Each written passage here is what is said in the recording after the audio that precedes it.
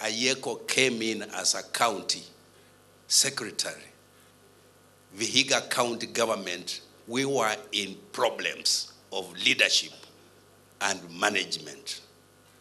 We didn't have a system of governance. We didn't have laws and policies that could govern the county. But for the period, Ezekiel has been with us since 2020, June 4th. We have witnessed tremendous progress in our governance system. And I'm happy to say that uh, as of now, we are among the few counties that have put in place very significant governance systems that will make our county move forward.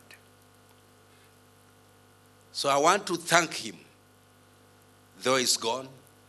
I want to thank him for the work he has done for the people of Vihiga. But God was also gracious to me because the day on 5th November, the day he eventually died, it was a special day for me and him because I had been away, and that previous weekend, he had also been awarded an award as being among the five best performing county secretaries in the country. So that day, he had come in to bring the award that he had been awarded in Nairobi. And for some reason, we spent a lot of time, and I'm happy we did, because I was able to discuss and thank him because we have presented ourselves to them. We want to be good. Let also them have a clean, a clear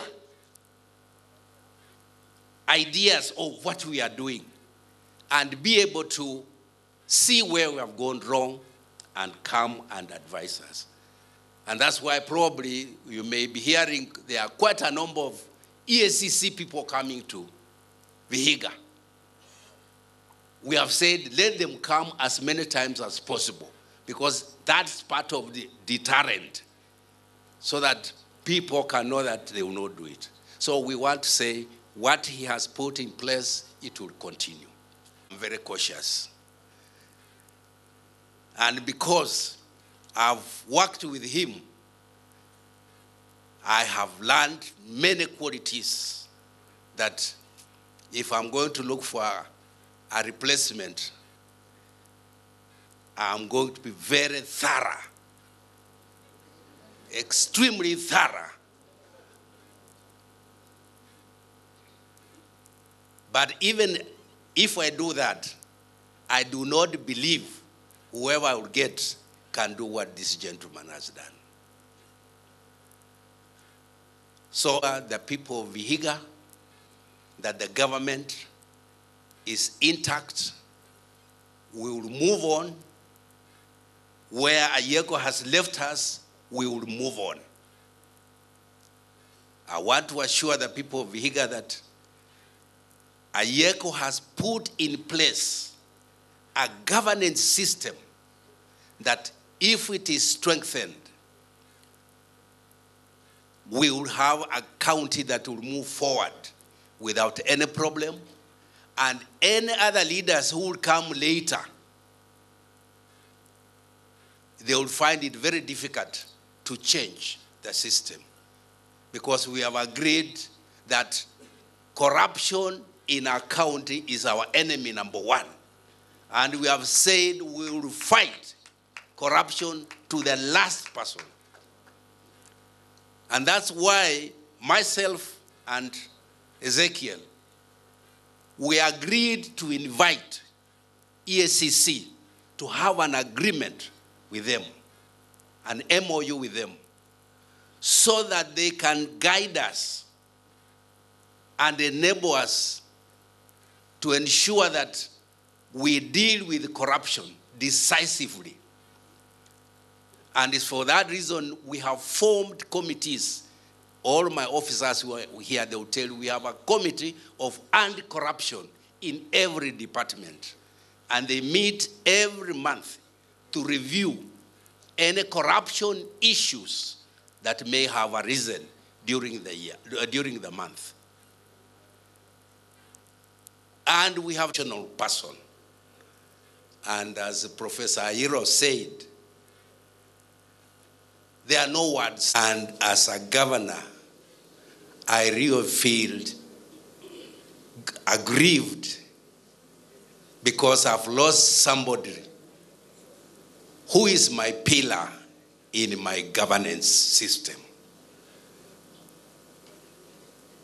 Since he left us, I've been thinking and wondering how I'll move forward without his being around.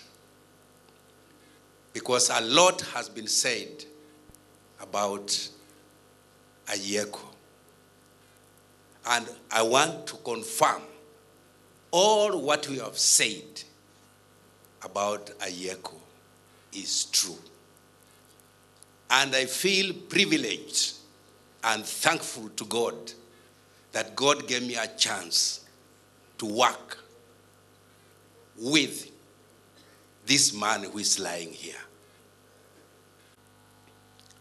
I want to thank the Senate. You have stood with us. And my friend Onyonga, thank you.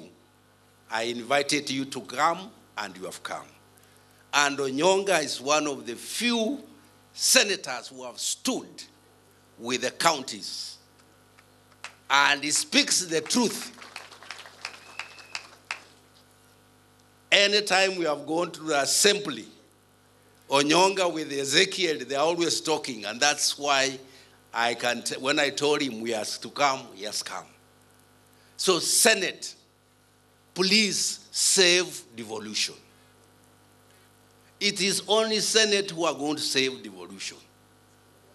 And devolution, if we lose devolution in this country, we will go back where we were. And as of now, devolution is under threat. That I can tell you as a governor.